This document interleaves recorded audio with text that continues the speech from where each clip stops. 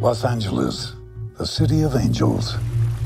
More like the city of dirty little secrets. People pay me to look into the activities of its finest citizens. I'm a private detective.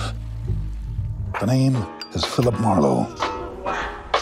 How private are your investigations, Mr. Marlowe? What can I do for you? I'd like you to find my lover. He disappeared without saying goodbye. Did he have things to hide? Haven't we all?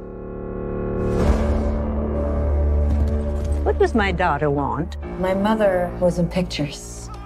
She must think there's something between us.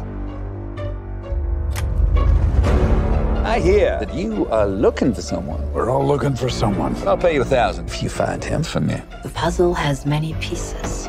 I don't know what you're gonna find.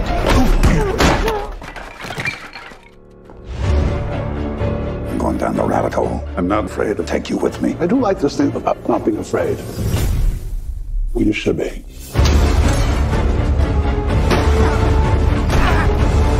They're all in on the conspiracy. You'll keep looking because you can't stop. The police won't touch you, but I will.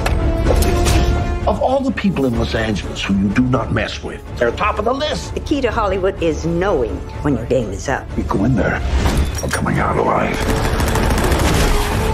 And I to ask myself, who wins, Mr. Marlowe? I will do everything to put you in jail.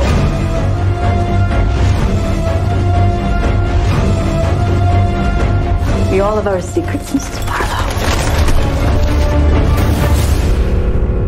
And your secrets? You'll have to keep those too.